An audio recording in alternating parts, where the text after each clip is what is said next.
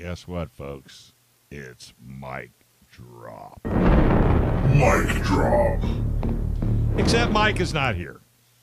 So it's going to be Wendy Drop. But we're not using Wendy Drop because it's just not the right thing to It do. doesn't flow as well. It just doesn't Yeah. flow. So what did Mike leave you with today? Well, um, we have a, a pre- I think it's a pretty good one. So normally it's you know obviously it's a mic drop, but this time you know hopefully it's a little prettier. Uh, so normally it's a it's a, a drop on an individual person, and the last time I was here I did also an individual person. Um, but this time I'm going to talk about a type of person.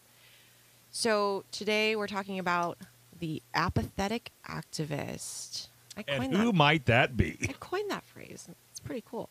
So I work for San Diego County Gun Owners, and I was a founding board member all the way back in 2015.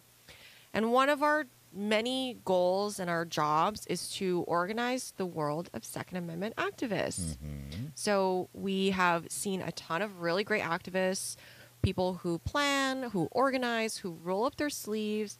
They work at tabletops, you know, some of them multiple times a month. They come to city council meetings. They help walk precincts to get candidates elected. There's so many things that our members have done to be effective activists. And it's really great to see that.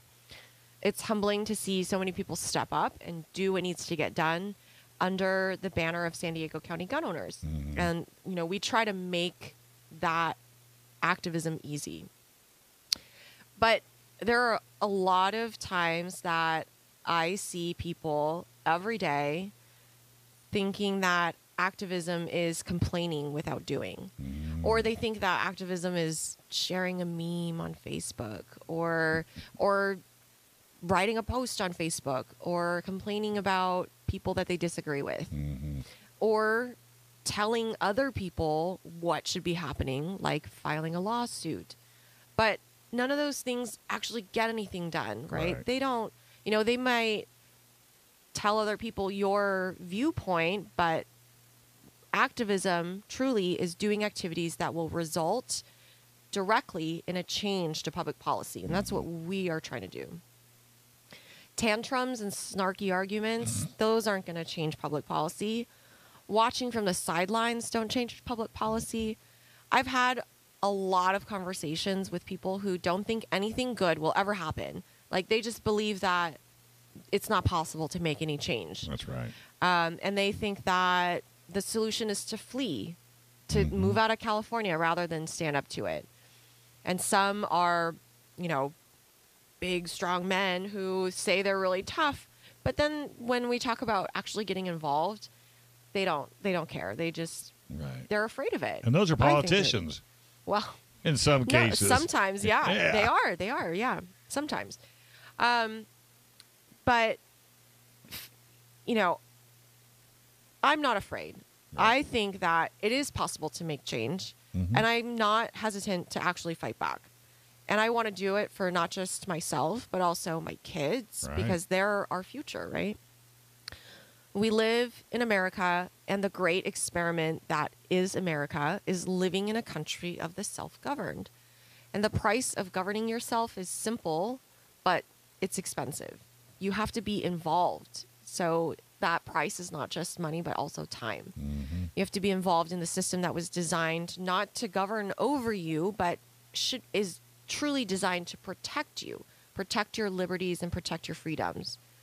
So if you find yourself deciding that your hobbies are more important than setting aside a weekend or an evening to do effective activism, or if you have made the decision that buying another AR or another Glock is a better investment than in your gun rights than donating to an organization that's fun, fun fighting for your gun rights, don't be surprised when people who don't fight back are making your rules and taking your rights away.